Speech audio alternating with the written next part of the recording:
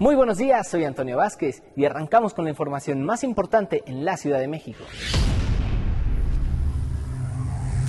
Durante la sesión ordinaria del Congreso de la Ciudad de México fue aprobado por unanimidad el dictamen que reforma y adiciona diversos artículos a la Ley de Derechos de Niñas, Niños y Adolescentes de la Ciudad de México y el Código de Procedimientos Civiles del Distrito Federal en materia de adopción, suscrita por la diputada Lilia Rosbach. El diputado Eduardo Santillán, presidente de la Comisión de Procuración de Justicia, destacó que estas reformas permitirán establecer el marco jurídico para dar certeza y claridad en los procesos de adopción, ya que se propone la creación de un registro de adopciones que concentre la información de los menores susceptibles de adopción, así como la de las personas solicitantes de adopción. Con 52 votos a favor, el Pleno del Congreso Capitalino aprobó el dictamen que reforma la Ley del Trabajo y la Ley Federal de los Trabajadores al Servicio del Estado, a fin de que los trabajadores tengan derecho a un permiso de paternidad por el nacimiento de sus hijos de 45 días. La propuesta fue enviada por la jefa de gobierno Claudia Sheinbaum Pardo a este órgano legislativo y después de analizar y discutir la propuesta, las y los legisladores aprobaron el dictamen de iniciativa.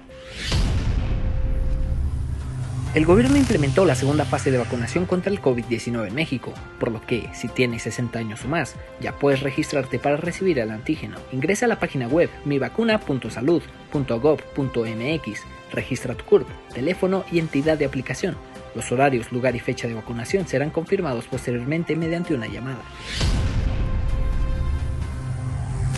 La Secretaría del Trabajo y Previsión Social lanzó en la Ciudad de México una plataforma específica de jóvenes construyendo el futuro para reclutar y capacitar a aprendices en el sector turístico.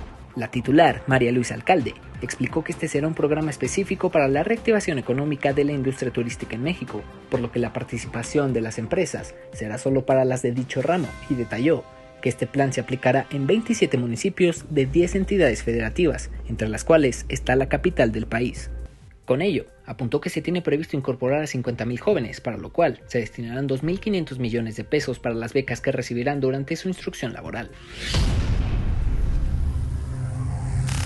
El presidente de Estados Unidos, Joe Biden, firmó nuevas órdenes ejecutivas para reformar el sistema migratorio de su país, donde se prevé la reunificación de las familias migrantes separadas durante la presidencia de Donald Trump. La Casa Blanca dijo que la nueva estrategia tiene el objetivo de generar que Estados Unidos sea un país más seguro, fuerte y próspero, al tiempo de garantizar un sistema migratorio justo que da la bienvenida a los migrantes, mantenga unidas a las familias y permita la unidad de las personas.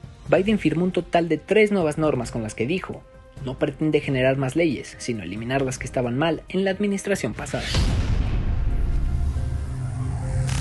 El fundador de Amazon, Jeff Bezos, dejará el cargo de consejero delegado del gigante del comercio electrónico y su lugar será asumido por el jefe del servicio de computación en nube Amazon Web Services, Andy Jassy.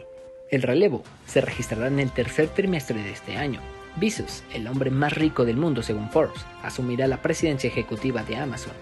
En el año fiscal 2020, Amazon obtuvo ganancias netas de 21.331 millones de dólares, casi el doble de los 11.588 millones logrados en 2019. Te invitamos a seguir los trabajos legislativos por la señal del canal del Congreso de la Ciudad de México. Recuerda extremar precauciones, mantener tu sana distancia y usar cubrebocas. Nos vemos en la próxima emisión.